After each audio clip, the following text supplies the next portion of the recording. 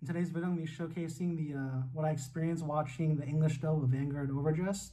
The voice actor list for English dub had Lillian like her when people watch her stream like and they connect it to Megumi's voice, especially relating it to the sub, they really didn't think that it would fit too well. Megumi would have like a, a higher pitched voice, but uh, in my opinion, it it stuck. It wasn't bad at all you just has to take a little getting used to because I watch the sub so much. But I thought later in the episode, as you keep hearing her talk, like you know, it's just it just feels just about right. That if any other voice actor play Megumi, like it would kind of like throw it off. But yeah, they, they felt like it fit the role. Really did a good job. So like props to her. Opinions on uh Danji's voice. Like he's on the other hand, it seems like he had like the, the really cool guy, tough guy voice. Um similar to like the original Vanguard Kai sub voice, of course. I, I think other voices like Zakuso, he was pretty good. Um, he barely talks, so I have to like watch the following episodes to see if uh, that really sticks.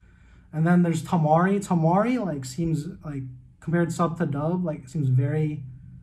It, it's there, but like I see a lot of people in the comments that were saying that she's not as energetic as the Japanese subbed, and I could kind of see that, but like other than that, like with the hey, like they were saying the hey guys wasn't like there, but I, I could still feel the energy. Uh, we get to hear that you use scream saying that it's uh like, why you can't just say no like i thought like when that part when he ran away from home and like was talking to himself was just upset and like i i felt the energy from that his voice actor and so i want to see more from from him Lily was Megumi taking the show, Danji's voice actor, and then Yu Yu as well. Oh, there's really nothing to say. Like it was a good episode a strong first episode for the dub.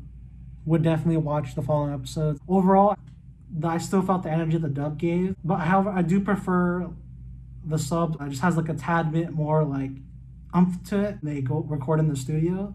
It's like like you really feel like the like something like they're really experiencing it when they record and like they they're just like more into it. That's been a little like uh, mini review on the dub. I can't wait to watch some more. Please feel free to leave a like, comment, and subscribe really help my channel out. And yeah, till the next one. Bye bye.